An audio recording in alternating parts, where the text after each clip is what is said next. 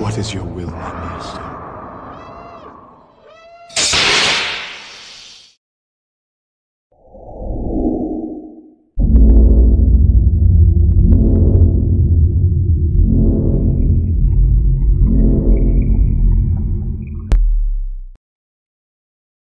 Hey, good morning, Maiko. Uh, quick demo video for you for your custom etched flagship by Vaults of Valhalla.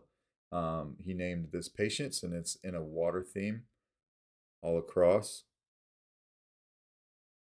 If you could see that there, I know my camera really won't do it justice, but you've seen the nice pictures that he's taken, and then I gave you some close-ups as well. Um, install with a Proffie V2 You've got uh, CC Sabers in here for your lit PCB. This is a two button setup, but what I like to do on these flagships sometimes is I'll make your main switch here. Um, I did make this an aluminum switch since this is a mix between aluminum and brass. I just thought it was a nice contrast here as well. So that, that stayed aluminum.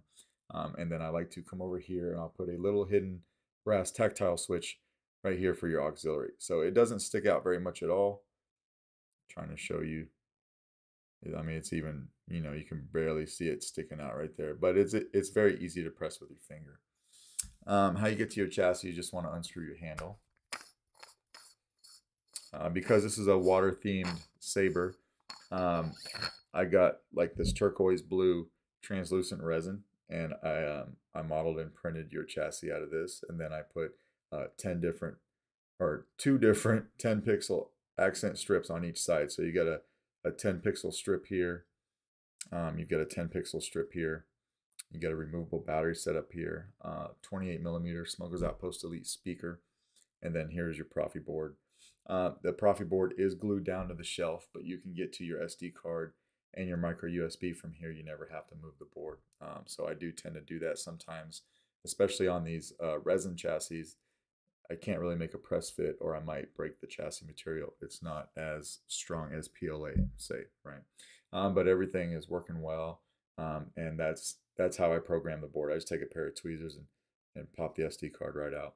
And then you have a little opening here on the bottom too to assist you if you need to put a finger in there or something. Um, but that's what you got going on. There are some designs on the chassis that are not going to pick up on camera, but you'll see those when you get it in person. Uh, just some water waves there is a Smuggler's Outpost emblem for me. Um, it says Vaults of Valhalla on one side and Solo Sabers on the other. Uh, this does have the stock font package on it, so I figure you'll be doing your own thing. But on the first font, I went through um, and I programmed these strips to do something different when the saber's off. So that way you can see what it does. And then the rest of the sound fonts, um, the chassis will match the blade when the blade is on. Okay, but we'll put a battery in here right now so you can see what I'm talking about.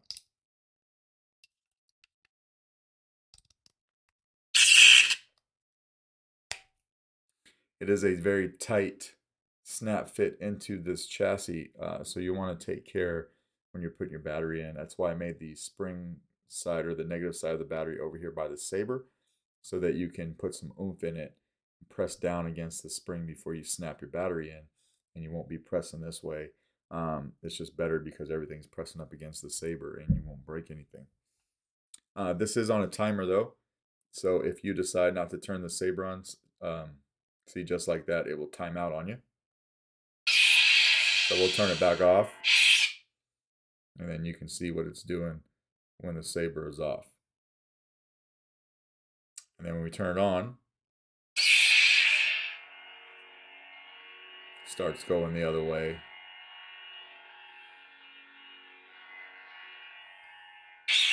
It does react to auxiliary being pressed.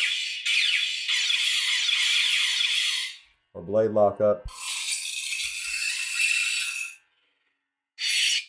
Now I did take a swing on off the saber. So you'll have to hit the switch to turn the saber on. But um, on the rest of everything, or I'm sorry, but there is still twist off on here. So you can twist the saber off. We'll go another sound font. And just so I can show you real quick that the chassis will match the blade. So you got a solid blue blade and the chassis will be blue. Just like that. And we'll put the handle on. Slides right on like it should. You will need to tighten it up to get your etch to line up with your switch. Uh, one one cool thing that Carl did, well, there's a lot of cool stuff that Carl did to the saber, but uh, on your handle right here, this this particular jewel right in the middle of your etch, there is a hole drilled through the handle, and that that that uh, jewel is adhesed down to the handle. But because I lit up the chassis, you get light up on that jewel. You see that?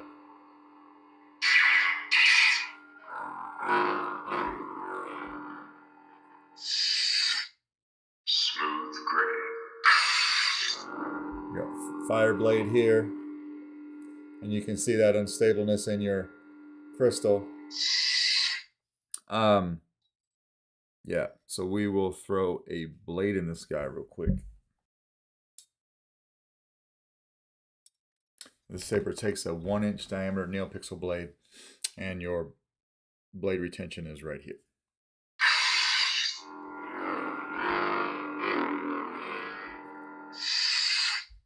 Smooth fuzz.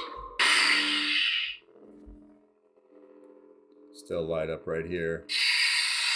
There, you might notice a color or two um, not showing up as well through your jewel because the jewel is blue. Um, I forget which color it is that doesn't shine through very well, but we'll go through them here in a second. I think it's green.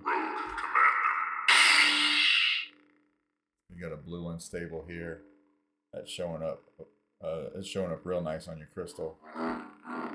Auxiliary over here is very easy to press.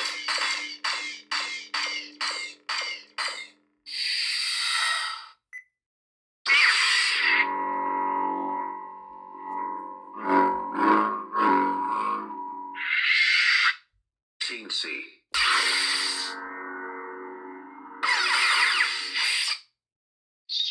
Jedi. Trying to find the rainbow blade. And there's the rainbow blade. One thing I just noticed that I didn't notice before is that Carl also drilled out the holes for your three gems on each shroud. So these guys and these guys over here. So you do get shine through on those as well. If you can see that on that side and then over here as well. So that's really cool.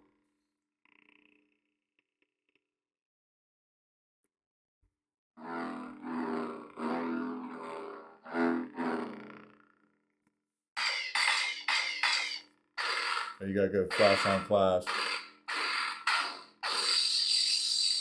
Blade lock up. We'll take the blade out. And we'll look at the uh we'll look at the chassis on the rainbow blade. I know that was something you were asking me about to make sure that it had it on there.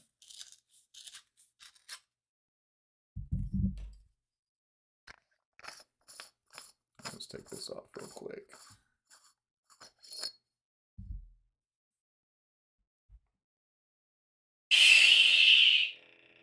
So yeah, you got a nice rainbow blade or a nice rainbow feature on your chassis as well as your blade, right? So everything's working like it should there. Um, when you're all done, you can come over here from the positive side by the speaker. Um, if you can't get it out with your finger, then what I've been using is just like the back of my tweezers. Some, something like that, right? Show it where you could see it. I could just come over here, pop out the battery just like that. Because it is a super snug fit, I wanted to make sure the battery didn't fall out on you. Um, but that is basically your flagship. Um, let me know if you got any questions, and if not, I will try to get this out in the mail today. All right, thank you.